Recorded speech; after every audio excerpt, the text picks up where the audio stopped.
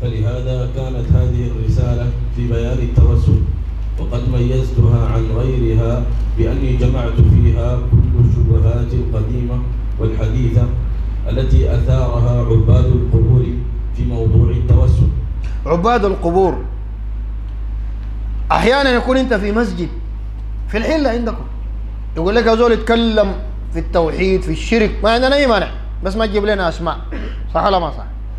لا أسماء أحزاب وطرق لا أسماء شنو؟ مش آه ناي آه شيوخ. قول لهم جدا. مش بالتوحيد تقبلوا هاي. يتكلم. قول لهم يا أخي والله عباد القبور يقولون. أي زول يزعل يقول لي أنت بتعبد غير الله أنت بتعبد القبر زعلان ليه أنت؟ أنا قلت عباد القبور. ما قلت صوفية ولا قلت برعي ولا غيره. والشيخ محمد أمان الجامي كان بيسوي كده. دروسه دي كلها في الحرم النبوي تقلبين دروس اللي بتسمعوها المسجلة دي. أغلبها في الحرم النبوي. والحرم النبوي والناس شنو؟ متجددين بيجوا العمرة دي ناس جداد والعمرة الجاية وبكرة وبعد بكرة. ناس متجددين فيهم صوفية وفيهم ملاحدة وكلهم لمين في النهاية دول قايل نفسه مسلم بيجي. فالشيخ من ذكائه قال عباد القبور. جماعة تلقاهم زعلانين لكن ما بزول قادر يكورك لأنه لو كوركت معناته أنت بتعبد القبر ولو سكت معناته مقصود الصوفية وأنت منهم. فزول يكون ذكي يا جماعة. أحيانا واحد داعية لكن يكون أحمق. لا لا والله إننا نكون البرعين ينزلوا من المنبر يجيبوا تلميذ البرع يركب.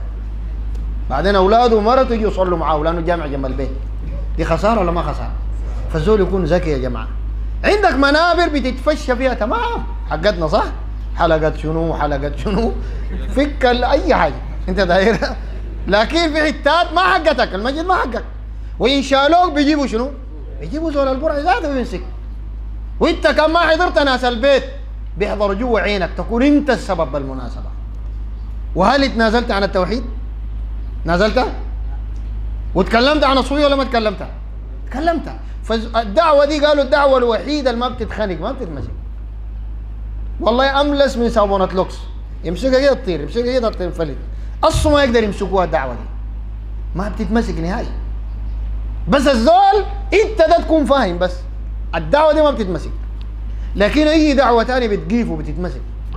ده حقت الله تقيف كيف ولا تتمسك كيف. لكن الداعية يكون رجل فاهم. عشان كده عمر بن الخطاب قال يا له من دين. لو كان له رجال. رجال فاهمين يكون.